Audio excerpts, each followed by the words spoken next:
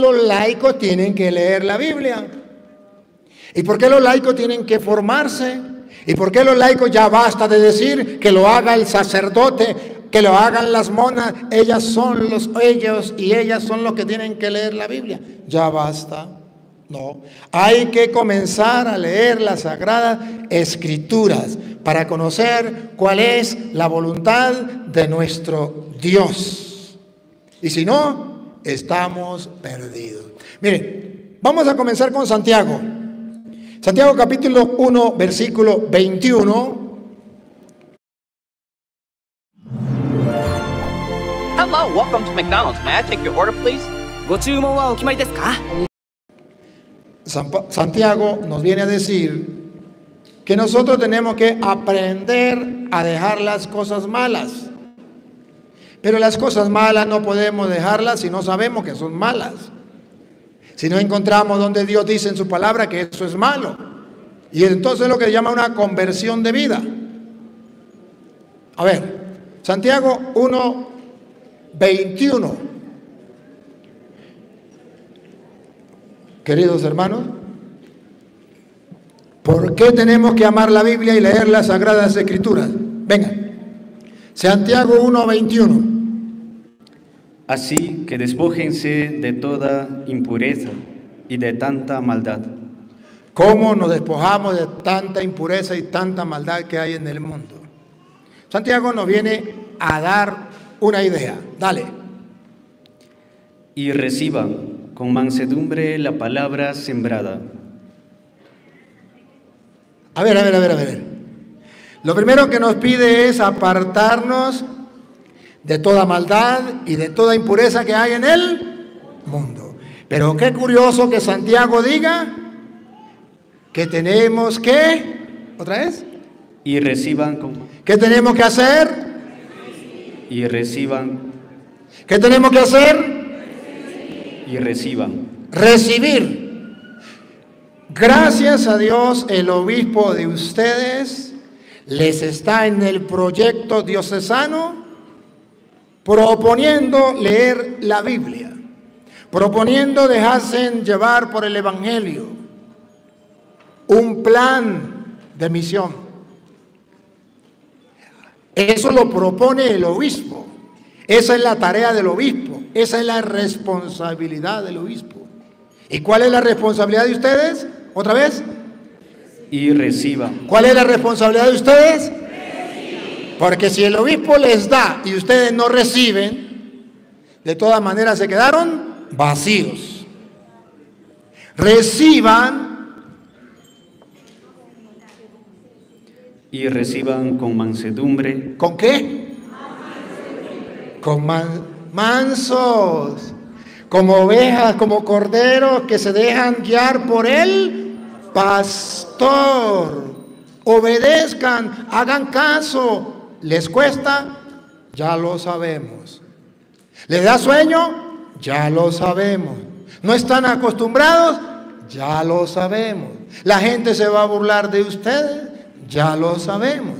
Pero lo importante es que reciban la palabra con mansedumbre. ¿Cuál ovejas? ¿Cuál corderos mansos? Con mansedumbre. Otra vez. Y reciban. Y reciban con mansedumbre la palabra sembrada. Ahora, ¿para qué más? Sirve para limpiarnos y purificarnos. ¿Y para qué más sirve? Con la lupa grande, para que todos lo vean vean la importancia de leer la Biblia. Que tiene el poder de salvar. No, no, no, no corra, no corra. Aquí tenemos que ir despacio. El error del católico es leer la Biblia como lo lee este muchacho. Es el ejemplo más claro. A las carreras. Eso no, ahí no, no queda nada. La Biblia se lee despacio, como planean las águilas seguras de su presa, despacio, como si acorraran los toros en el corral, despacio, como se doma un caballo, como se canta y se ora, como se ama y se besa, despacio. No se puede correr. Porque si corremos, olvidamos que cada palabra tiene su significado, tiene su peso y nos dice algo. Va, ahora despacio. Que tiene el poder, Que tiene el poder, la palabra de Dios que a ustedes se le está dando y que el obispo está motivándolo para que la lean, tiene el poder de qué? Paren la oreja, pongan la lupa, háganle zoom. que tiene el poder de salvarlos. ¿A ustedes no les dice nada? A mí me emociona, porque lo creo. Estoy convencido que es así. Entonces Santiago dice que no solamente la palabra de Dios me limpia, me purifica de toda impureza y de toda maldad, sino que además tiene el poder de salvarme. Cuando un católico lee esto, lo encuentra en la Biblia, dice, caramba, si esto es palabra de Dios, tiene que ser cierto. Y si eso es cierto, está escrito para que yo lo lea, lo lea y lo practique. Ah, porque el mismo Santiago va a decir que sí, que podemos, que podemos aplaudir y decir, qué emocionante, sí, la palabra de Dios tiene poder para salvarnos. Pero entonces no la leemos. O si la leemos, no la practicamos. Entonces Santiago, que es inspirado por Dios, dice, ¿cuáles son los peligros que hay del católico? Uno, agarrar, no tener la Biblia, no tenerla. Hay católicos que no tienen la Biblia. Dos, hay católicos que sí tienen la Biblia, pero no saben dónde. Hay otros que la tienen, pero la tienen abierta en el Salmo 91, lleno de mugre porque nunca cambian la página. Hay otros que la tienen y de vez en cuando leen algo. Hola, mi nombre es Valentina y déjame contarte exactamente cómo aprendí inglés en 20 meses iniciando. pero no lo practican. Y hay un grupito pequeñito, tiqui, tiqui, tiqui, tiqui, tiquitico, que lo lee para ponerlo en práctica. Santiago, que come? Que adivine. ¿A qué adivina? Venga, sigue. Pe- pero sed hacedores de la palabra, Tiene poder para salvarnos, pero no teniéndola en el cuarto allá amontonada, o en la sala, en el Salmo 91, sino siendo hacedores. He aquí la esclava del Señor, hágase en mí según tu palabra. Y la palabra se hizo carne y habitó el ángel, ¿se acuerdan? El ángel. El ángel del Señor anunció a María y ella concibió por obra del Espíritu. Aquí la esclava del Señor, hágase en mí según tu palabra. Y la palabra se hizo carne y habitó entre nosotros. Ah, perfecto, eso es lo que dice Santiago. Pero sean hacedores de la palabra. O sea que el otro peligro es escucharla y no ponerla en práctica. Siga. Y no tan solamente oidores, No se conformen con oírla. engañan, No. engañándonos a vosotros mismos. Siga. Porque si alguno es oidor de la palabra, pero no hacedor de ella, este es semejante al hombre que considera en un espejo su rostro natural. Porque él se considera a sí mismo y se va y luego olvida cómo era. Mas el que mira atentamente en la perfecta ley, la de la libertad, y persevera en ella, no siendo oidor, olvidadizo, sino hacedor de la obra, éste será bienaventurado en lo que hace. Listo. Santiago entonces dice, vamos a creer que la Biblia nos va a salvar, pero así teniéndola en la casa no. como un amuleto, no, nos va a salvar siempre y cuando la leamos y la pongamos en práctica. Y seremos dichosos, bienaventurados, felices y salvos. Cuando una persona lee eso y lo cree, queridos hermanos, esa persona entonces lo da todo por leer la palabra de Dios. Oh, se lo voy a dibujar de otra manera. Se lo voy a dibujar de otra manera. Jesucristo, el Señor. Jesucristo, el Señor. En Juan 8, 31. San Juan 8, 31. Entonces ya Jesucristo, el Señor. ¿Cómo dice? Juan 8, 31. En adelante. Él viene a hablarnos. Él viene a decirnos, pero nos viene a hablar de la palabra de Dios. ¿Y qué dice Cristo? Acérquese. Entonces Jesús dijo a los judíos que habían creído en él. Levanten la mano los que creen en Jesús. Bueno, para ustedes es este mensaje. Jesús dijo a los judíos que habían creído en él. ¿Qué dijo Jesús?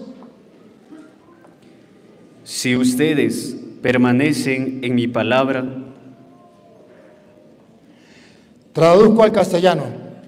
Él habla en inglés, yo traigo en castellano. Si ustedes leen la Biblia todos los días,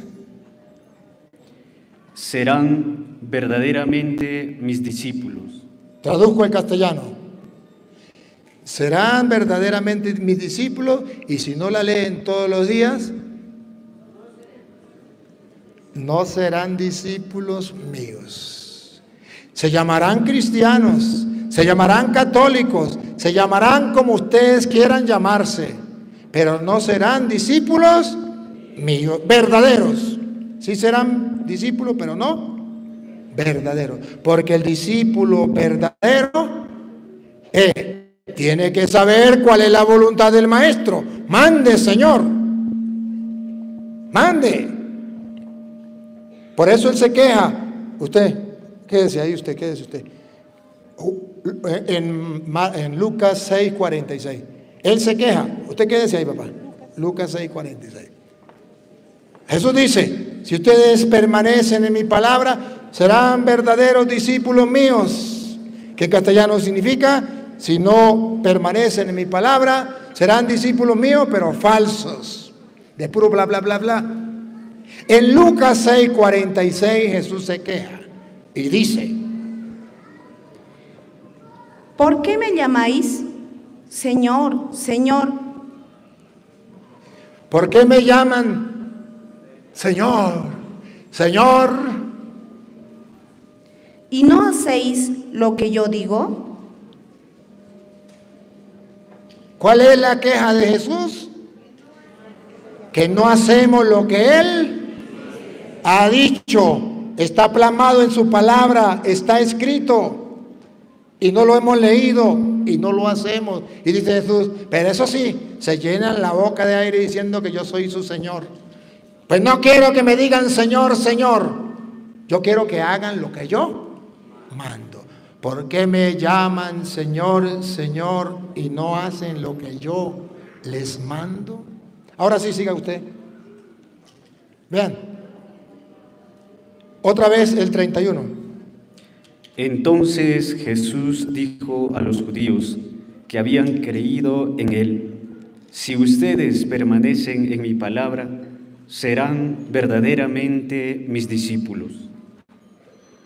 ¿Qué más? Y conocerán la verdad. ¿Dónde está la verdad? En la palabra de Dios. Conocerán la verdad cuando lean la Biblia. Pregunto, ¿ustedes saben por qué los católicos no saben quién tiene la verdad? Si los testigos de Jehová, si los evangélicos, si los pentecostales, dicen, pero eso es lo mismo. Eso es lo mismo. El mismo Dios, la misma Biblia, eso es lo mismo. Ellos, ellos tienen la verdad. ¿Y quién quita que tengan la verdad? Ellos saben más de Biblia que los católicos, ellos leen más la Biblia. Eso como que tienen la verdad. Así piensan los católicos, ¿saben por qué?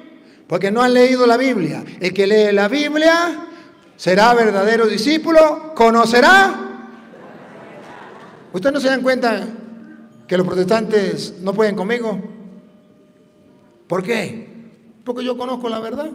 Cuando un protestante me dice, mire que la cruz es maldita, yo de una vez he leído la Biblia y me doy cuenta que en ninguna parte de la Biblia lo dice. Y yo le digo, dejo de ser cura si usted me muestra un capítulo, versículo donde diga que la cruz es maldita.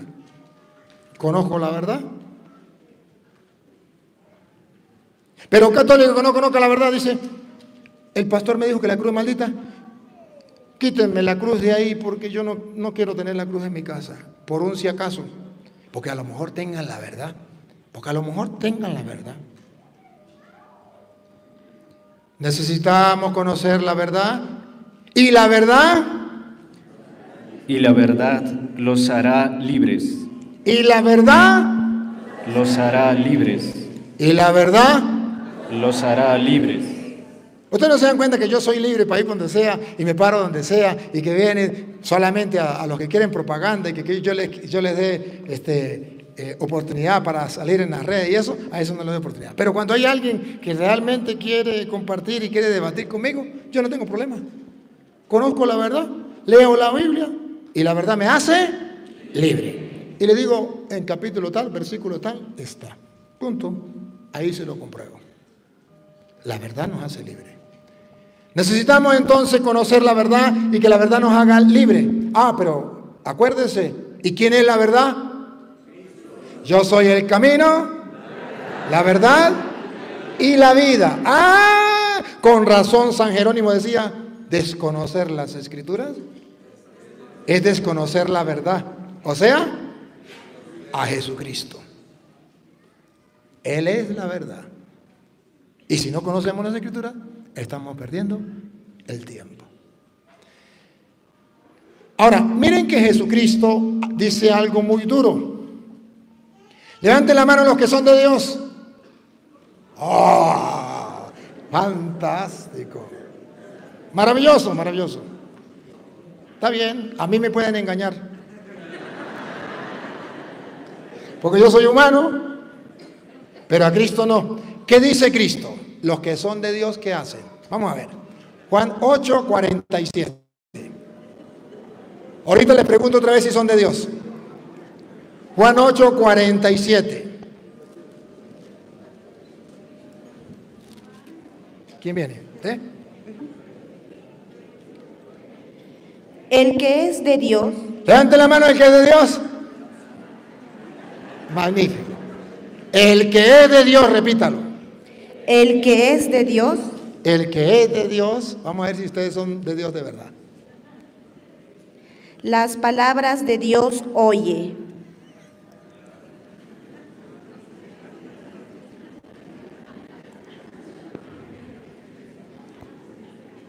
No se diga nada. Ahora vamos a ver, y si ustedes no escuchan la palabra de Dios, si ustedes no la leen, no le hacen caso, ¿por qué es? Vamos a ver. Por esto no las oís vosotros. ¿Por qué? Porque no sois de Dios.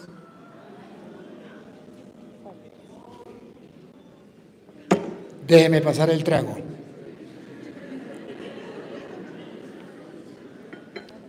Si esto es palabra de Dios,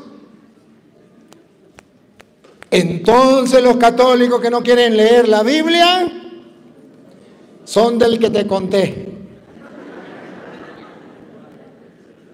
¿O no? Yo tengo un problema, yo tengo un problema. A mí mi papá me enseñó que la Biblia era palabra de Dios. Y cuando mi viejo me enseñó a mí que la Biblia era palabra de Dios, yo tomé la determinación de leer lo que dijera la Biblia. Y por eso entonces, cuando yo encuentro en la Biblia que el que lee la palabra de Dios es verdadero discípulo de Cristo, conocerá la verdad y la verdad lo hará libre, ¿qué hice yo? Comerme la Biblia. Comerme la Biblia. Me daba sueño. Yo me quedaba dormido. Y como yo decía, Yo no puedo leer la Biblia, me quedo dormido. Ah, voy a leerla de rodilla. Me ponía a leerla de rodilla. Y cuando, ¿usted sabe que la rodilla le duele a uno cuando está arrodillado? Yo decía, muera Satanás, muera Satanás, muera Satanás. Pero yo tuve la dicha de estudiar con unos compañeros que eran medio ateos. Y yo me ponía a estudiar la Biblia de 2 a 3. Era la hora del burro, del sueño. Y yo no podía estudiar otra materia, me quedaba dormido. Y yo leía entonces la Biblia de 2 a 3. Pero en el seminario estaba prohibido. Tenía que leer las materias, estudiar, era hora de estudio. Desde la mañana hasta la noche, un horario. Y en ninguna parte aparecía leer la Biblia. Tenía que hacer todo menos leer la Biblia. Pues yo tenía que sacar un tiempo para leer la Biblia, pero yo no podía estar haciendo algo que no dijera el horario. Entonces yo me ponía a estudiar la Biblia a esa hora. Mis compañeros miraban por la ventana, se subía uno encima del otro, miraban por la ventana y si me miraban arrodillado leyendo la Biblia, agarraban la puerta a golpe y decían, toro está loco, toro está loco, toro está loco, toro está loco, toro está loco, toro está loco, toro está loco. Y le daban a la puerta. Y yo decía, Dios mío, ¿qué hago? Alguien se tiene que cansar. O se cansa él o me canso yo. Que se canse él. Y se cansaba él y agarraba el otro. Y era una hora de tormento. Y cuando yo salía me decía, Usted no cumple el horario. El horario dice que tiene que estar estudiando y usted está leyendo la Biblia y eso ya pasó de moda. Eso no sirve para nada. Eso está anticuado. Yo le decía, pero al menos estoy leyendo la Biblia, pero ustedes le están dando golpes a la puerta, están perdiendo el tiempo. Tampoco están cumpliendo el horario. Y se reían y se burlaban. Pero yo sabía que la palabra de Dios era para mí importante porque tiene poder para salvarme. Y si yo quiero ser verdadero discípulo de Cristo, debo leer la Biblia. Y si yo quiero ser de Dios, el que es de Dios, la palabra de Dios, escucha. Y si ustedes no la escuchan, es porque no son de Dios. Si lo hubiese dicho Petronilo, yo no le creo. Si lo hubiese dicho Pánfilo, yo no tuviera ningún problema. Pero si lo dijo Jesucristo, a mí me pone a temblar. Porque Él es Dios y no miente. Ah, caramba. Entonces, vamos a ver, ustedes y yo tenemos que agarrar el amor a la palabra de Dios. Miren, el salmista, ya en el Antiguo Testamento, Salmo 119, 105. ¿Qué dice el salmista? Salmo 119, 105.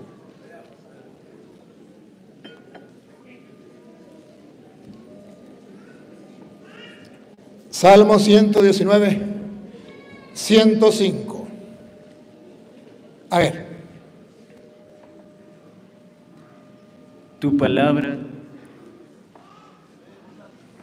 ¿Escucharon? Otra vez. Tu palabra. Está hablando con Dios.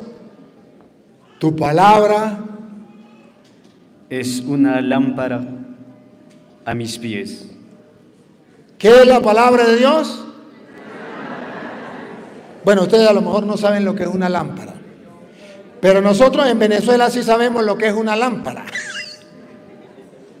Porque cuando se va la luz tenemos que prender una lámpara. Tu palabra es una lámpara para mis pasos. Tu palabra es una lámpara a mis pies. Es la luz que ilumina mi camino.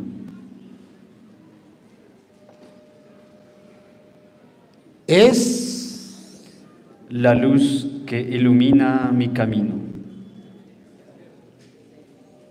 Es la luz que ilumina mi camino.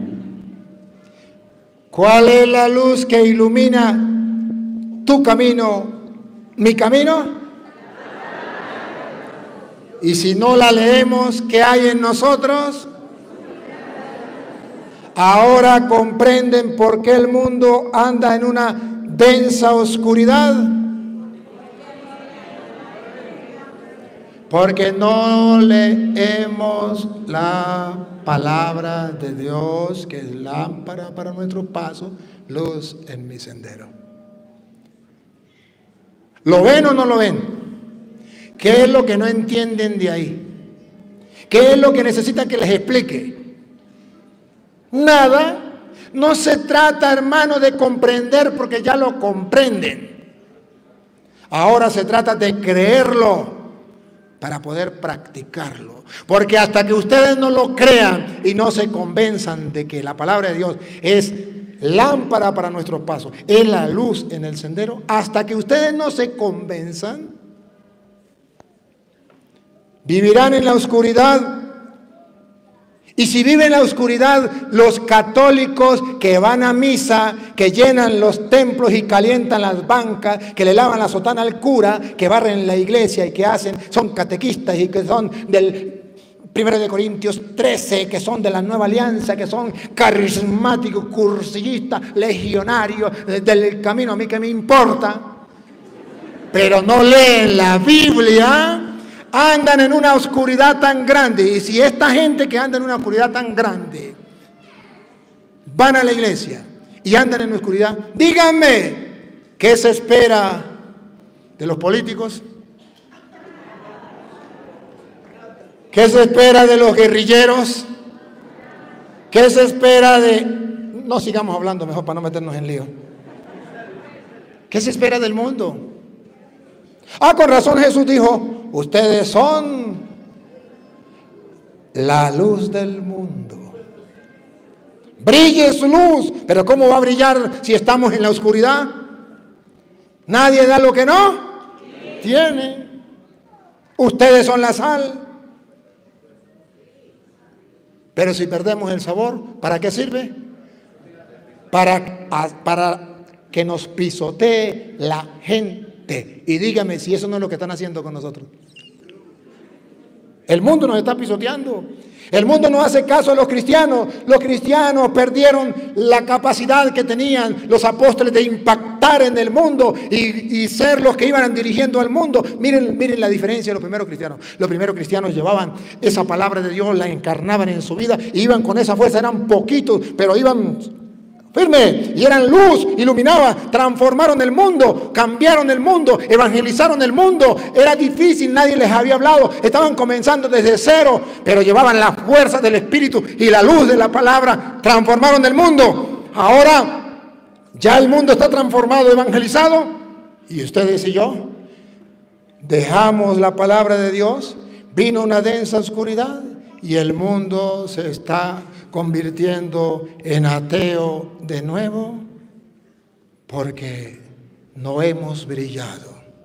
Porque la luz del Evangelio no ha brillado. Porque ustedes y yo no hemos sido luz del mundo. Porque nadie tiene lo que no nadie da lo que no tiene. Porque la palabra de Dios es la luz que nos ilumina. Y la hemos abandonado. Le voy a dar un secreto. Le voy a decir un secreto. He escuchado a muchos católicos decir esto no lo arregla nadie. Esto, ya no lo arregla nadie. Esto no tiene remedio. El nuevo orden mundial ahora manda en el mundo y son los que gobiernan y ya no podemos hacer nada. Que sí podemos hacer algo. Volver a encender la luz. Lo que está haciendo el obispo. Haciendo que haya luz en medio de la oscuridad. ¿Y sabe qué? ¿Qué es la oscuridad? Ausencia de luz. Y el mundo está en oscuridad porque hay ausencia de la palabra de Dios. Para la prueba un botón. Los padres de familia no leen la palabra de Dios con sus hijos. Los catequistas a la cual Dios por medio del sacerdote, por medio de la iglesia, le encomienda la catequesis, la evangelización, iluminar la vida cristiana del ser humano desde niño con la palabra de Dios. Leen cualquier libro y hacen lo que sea menos la palabra de Dios para los niños. Densa oscuridad. Que no me escuche el obispo ni los curas. Los obispos y los curas Leemos libros de geología y teología, pero no queremos leer la Biblia. En el seminario se nos premia si leemos libros de filosofía, pero no se nos premia si leemos la palabra de Dios. Qué triste, qué desgracia. Ahí está el detalle, dijo Cantinflas. Con razón el Papa le dice a los teólogos, vuelvan a las fuentes. No quiero teología sin Biblia. Quiero que la teología esté sustentada en la... Claro, con razón. ¿Por qué? Porque la teología viene de teo y logía, que yo no sé qué será, pero allá me dijeron que era el estudio de Dios. Y el estudio de Dios, ¿dónde lo vamos a estudiar si no es en la Biblia? Pero ahora los nuevos teólogos dicen, hacemos teología, pero no tocan la Biblia. Entonces, ¿de qué teología están hablando? ¿De qué Dios están hablando? Ahora la teología se centra en lo que dijo Petronilo, que es teólogo. Lo que dijo Pánfilo, que es ojo Un mortal como cualquiera de ustedes. Pero lo que dice Cristo, que es Dios, y está plasmado en las escrituras, lo hemos tirado a la basura. Ahora estamos pagando las consecuencias. Tiempos atrás nadie podría pensar que un grupo de obispos incluso de Alemania pudiesen estar pidiendo cosas que van en contra de la doctrina de la iglesia. Incluso pedir cambiar la Biblia. El único pecado que se ha cometido y es responsabilidad de los formadores cuando ellos estaban en el seminario es que no le enseñaron a leer la Biblia, no la conocieron, no la amaron, no, se impregnaron de ella, no fue una lámpara para sus pasos, una luz en el sendero y en esa densa oscuridad ahora piden al Papa cosas que no están en la Biblia y que no es doctrina de la iglesia. Y a mí me da risa con el Papa. El Papa les dijo, ustedes quieren que, que haya matrimonio de hombre con hombre y mujer con mujer y quieren casarlo, no tienen que formar otra iglesia. Hay muchas iglesias que ya lo están haciendo, váyanse con ellos. Así se lo dijo, clarito y raspado. Les aseguro con toda firmeza, sin lugar a equivocarme, que el error más grande que se ha cometido para con esos obispos ha sido no darles a conocer la palabra de Dios. Que estuvieron en un seminario, pero nunca se empaparon de la palabra de Dios, que es lámpara para nuestros pasos, luz en nuestro sendero. Y si eso puede pasar con un obispo, con un sacerdote, ¿qué no pasará con los laicos? Jóvenes, a lo mejor ustedes algún día, aquí hay un grupo de jóvenes, no los puedo dejar pasar por alto.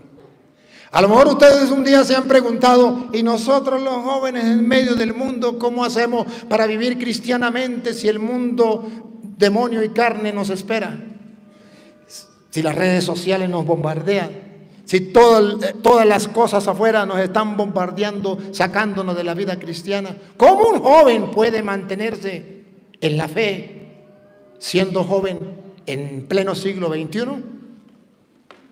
Esa pregunta se la hicieron ya a Dios y Dios respondió por medio del salmista en el Salmo 119, 9. 119, 9. Y ahí está la respuesta. Jóvenes, que ustedes hayan venido a escuchar la palabra de Dios, no es por casualidad. Es porque Dios quiere que ustedes también tomen en cuenta lo que dice la Biblia. Va. ¿Qué dice el 9? ¿Con qué limpiará el joven? Aquí, jóvenes, a ver, presten atención. ¿Con qué limpiará el joven su camino? ¿Con qué limpiará el joven su camino? ¿Cómo hará para mantenerse en el camino? Si alguno tiene la traducción bíblica católica, ¿cómo dice? No, no, no, no. ¿Cómo dice eso? Eh, ¿Cómo lo dice? Pase para allá, pase para allá y súbese. Ah, esta traducción me gusta en este momentico. Voy a tomar la Biblia católica. Siempre estoy leyendo con la Biblia de los hermanos separados. Pero ahorita voy a tomar la Biblia católica. Para que los jóvenes me escuchen más claro. Venga. ¿Cómo podrá un joven andar honestamente?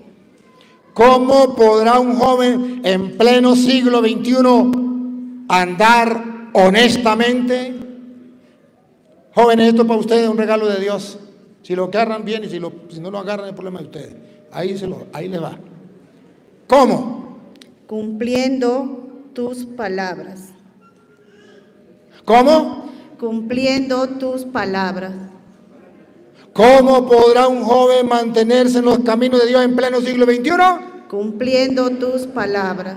Si lo creen, tendrán éxito. Si no lo creen, mañana llorarán y sufrirán. Pero un día un sacerdote del Dios Altísimo se lo dijo. Si no lo creyeron, eso es problema de ustedes. Pero vamos a leer la Biblia, porque en la palabra de Dios está para nosotros la, salvación, lo más que usted y yo buscamos, lo más que usted y yo queremos. Vamos. ¿Cómo debería ser la palabra de, de, Dios para nosotros? ¿Cómo deberíamos amarla? Versículo 72.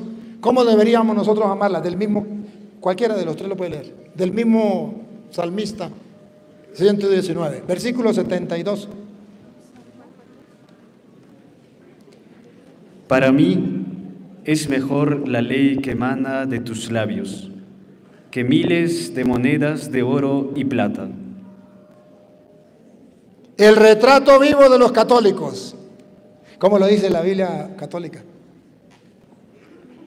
72 del capítulo 19, 119.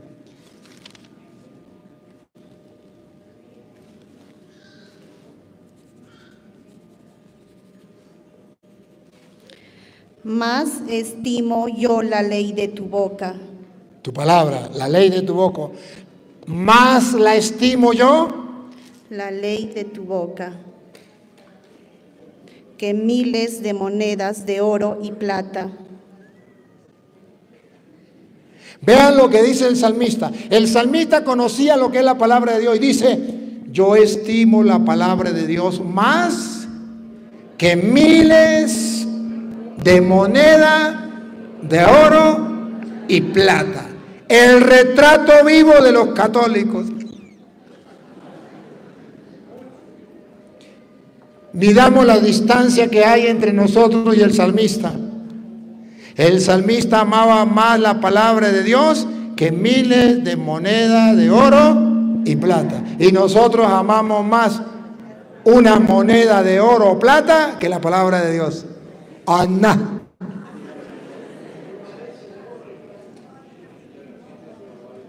Vean ustedes cómo estamos faltos del conocimiento de la palabra de Dios. Pero Dios no promete. ¿Cómo un joven puede andar honestamente en la vida cumpliendo la palabra de Dios? ¿Y cómo la va a cumplir si no la ha leído, si no la ha escuchado?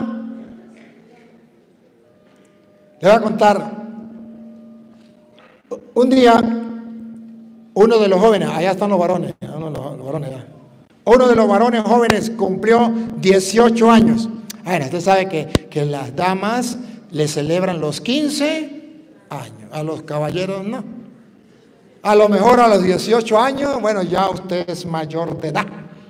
Ya verá usted qué es lo que hace. Bueno, el hijo cumplió 18 años y la mamá le dijo, hijo, tranquilo, que yo le voy a decir a su papá que le regale lo que usted quiera. Hijo, dime, ¿qué es lo que quieres de regalo en sus 18 años?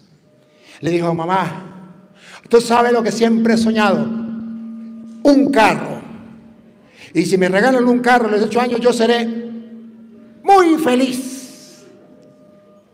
La mamá fue y le dijo al papá, sabe que nuestro hijo está cumpliendo tal día 18 años. ¿Y sabe cuál es el regalo que él desea para ser feliz? Un carro. Así es que yo se lo pido de corazón, dele lo que el niño necesita para ser feliz. ¿Tú amas a tu hijo? Sí.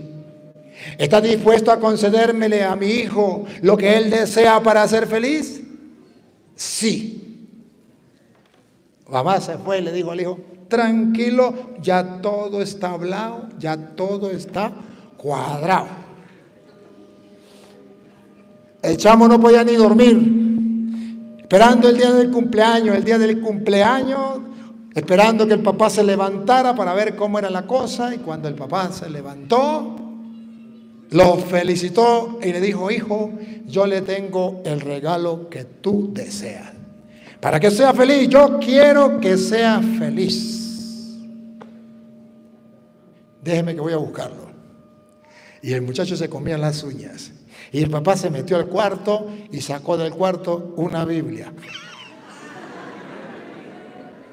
Y se la entrega al joven y le dice, hijo, Aquí está lo que tú necesitas para ser feliz. Es mi regalo de cumpleaños. Es el regalo que su padre de corazón a corazón te da. Espero me lo reciba con amor. Hijo, cuando tú leas la Biblia, vas a ser muy feliz y tendrás lo que siempre has deseado en tu vida para ser feliz. ¿Se imagina cómo se puso ese joven? triste, acongojado, casi que cantaba la canción, nadie me quiere, todo me odia, mejor me como un gusanito.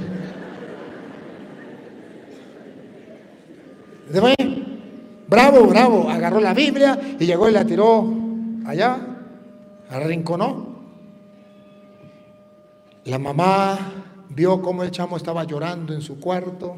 En la noche agarró al hombre le jaló las orejas, le mentó hasta la madre. Y el hombre le dijo, yo le di a él lo necesario para ser feliz. Si él no lo quiso, ese es el problema de él. Como vio que el muchacho ya no le hablaba, como vio que el muchacho estaba medio bravo, le dijo, hijo, está bien, vamos a hacer una cosa. No lea completa la Biblia, pues léala hasta la mitad. Al menos hasta la mitad usted podría ser feliz.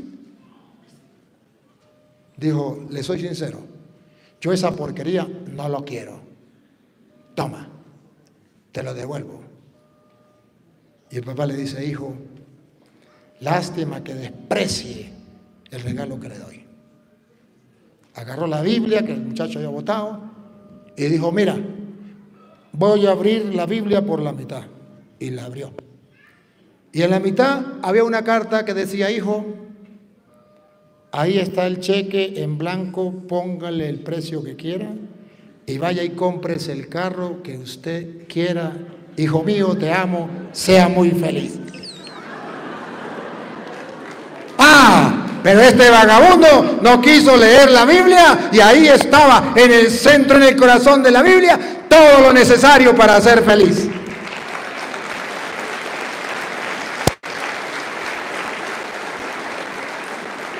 Ese muchacho eres tú y soy yo. Dios nos ha dejado todo lo que necesitamos para ser feliz. Por eso dice Santiago, será feliz al practicarlo. En la Sagrada Escritura. Pero no lo queremos hacer. Lo hemos tirado a un lado. Lo hemos abandonado. Que no es así, hermanos. Mire, la Biblia habla, habla en segunda de Timoteo, capítulo, segunda de Timoteo, vamos a leerlo desde el 3, el, el 14, 3, 14.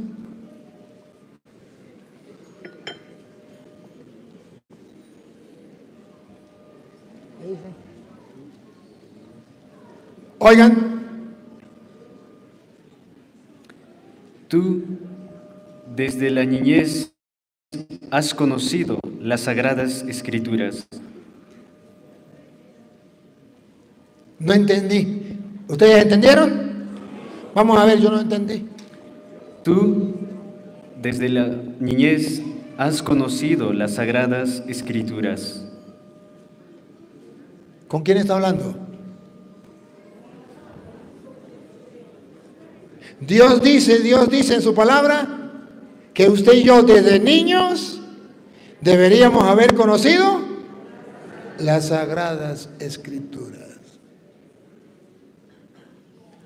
Es verdad que no lo, seamos sinceros, a Dios no lo podemos engañar. Hasta ahora no la hemos leído, pero vamos a leerla de ahora en adelante. Si ustedes hoy toman una decisión de leer la Biblia a partir de ahora, de hoy en adelante para siempre, sin desmayar, entonces vean las promesas que da Dios. Tú desde niño has conocido las sagradas escrituras, repítalo. Tú desde la niñez has conocido las sagradas escrituras, las cuales te pueden hacer sabio. ¡Uh! Jóvenes, Agarren esto para ustedes. Las sagradas escrituras te pueden hacer sabio. ¿No es eso lo que ustedes quieren? ¿No quieren ser sabios? Pues dice la Biblia que la única manera para adquirir la sabiduría, ojo, no la humana, la sabiduría humana se adquiere leyendo los libros de filosofía, de teología, de derecho, de lo que usted quiera. Eso adquiere sabiduría humana. De esa no estamos hablando. Estamos hablando de la sabiduría divina, de la que viene de arriba. ¿Le pongo un ejemplo? ¿Cuál es la sabiduría humana? Un doctor, un doctor suma con laude. Doctor.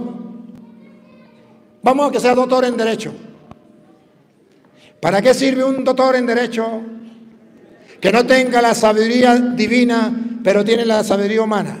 Para meter en la cárcel al inocente y sacar al culpable por unos churupitos. ¿Para qué sirve un doctor de medicina que tenga sabiduría humana y no tenga sabiduría divina? Para matar a un niño en la barriga de la mamá cuando él juró salvar vidas. Y no sigamos. Y no sigamos.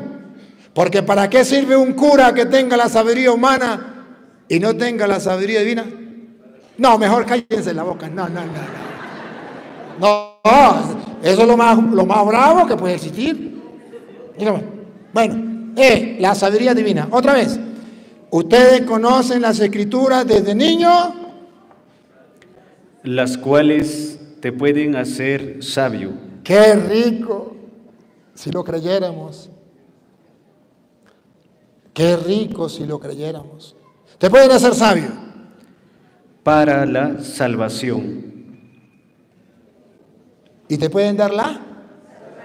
Salvación. ¿No es eso lo que ustedes buscan? Levanten la mano los que se quieren condenar. Levanten la mano los que se quieren salvar. ¿Me captan? Entonces la Biblia es para el que se quiera salvar. Ella no puede dar la sabiduría que lleva la salva. ¿Qué más quieren? Pollo licuado con sorbete, le dicen ustedes. ¿Con sorbete? ¿Qué más quieren? ¿Es una oferta? ¿Es una oferta? Solamente hay que dejar la pereza espiritual y sentarnos a leer la Biblia. Solamente tenemos que hacer un propósito, un plan. Como el obispo tiene un plan de evangelización, un plan de la diócesis, un proyecto. Hagamos un proyecto también nosotros.